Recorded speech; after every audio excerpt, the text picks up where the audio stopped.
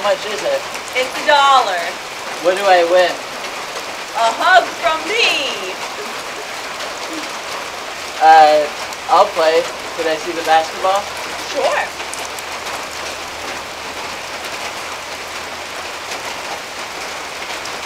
What are you doing, sir? Five inches. Yes. That's the radius.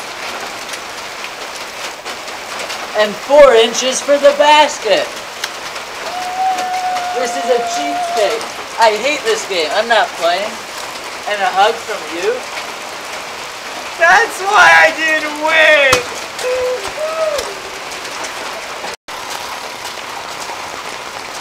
Hi. Hi. Welcome. Thank you. What's this game? Uh, this is the chance game. So you put a dollar down on any of these numbers. There's 40 numbers. And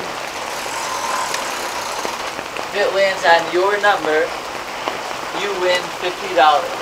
Ooh, how much is it to play? It's $1 to play. I have a dollar. Okay, do you want to play? Yes.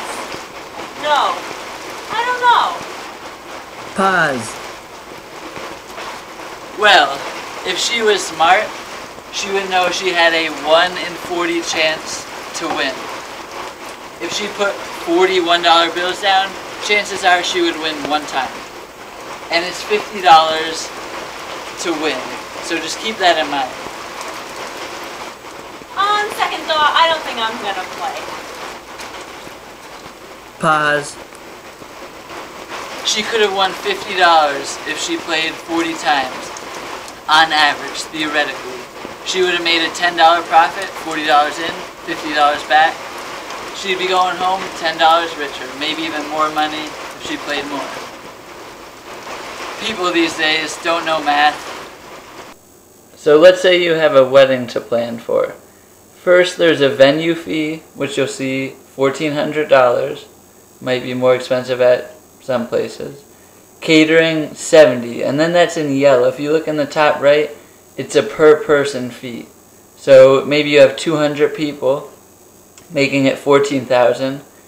DJ, photographer, tux, wedding dress, all that costs a lot of money. You insert formulas into Excel, kind of cool. You could uh, multiply 70 times 200 to get 1400 right here and then add up. There's a formula in Excel that does it where you could add up and you get 17,600 in red because that's a lot of money. Now let's see how this relates to math. So here we have a formula. Y equals y is your total 1400 plus 70p sometimes there's x's. And P represents the number of people, plus the DJ 800 plus this, plus that, plus that. And you could find your total depending on how many people you have. So we plug in 200 for P, assuming there's 200 people coming to the wedding. And you get your grand total of 17,600. So that right there is a formula actually used in the real world. How about that? Oh my baby. Hello. Hi, how's it going? Hi.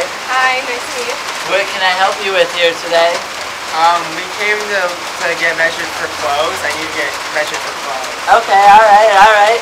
Sit down right here. Sit down right here. Let me get around your waist. Alright, 34, 34. Get here. Don't mind me. Don't mind me here. Alright, 44. And stand up for me. Stand up, stand up, stand up.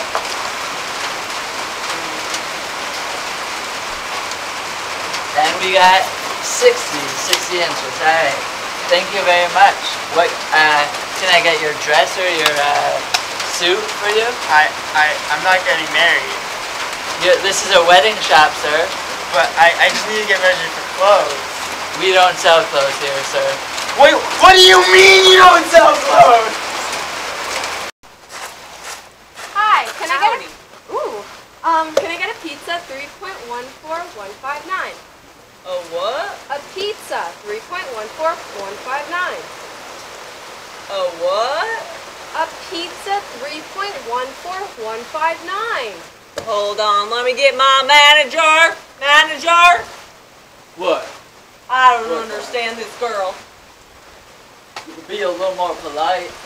Sorry, I don't understand you. Can I get a pizza? 3.14159. Uh.